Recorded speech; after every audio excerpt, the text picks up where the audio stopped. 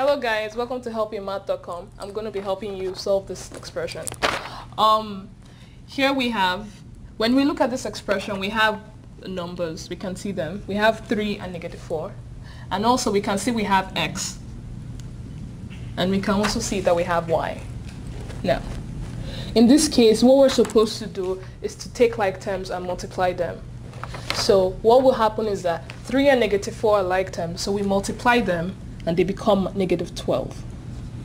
Now, on the other hand, we can see that x to the, we have x, but it's to the power of 2, and we have x, but it's to the power of 1. So what we, we can do here is just to put this one to make things a little clearer for us. And then, if we multiply them, according to rules of exponents, when we have x to the 2, and we want to multiply this by this, what really this means is x to the 2 plus 1. So now that we have this, this becomes x to the 3.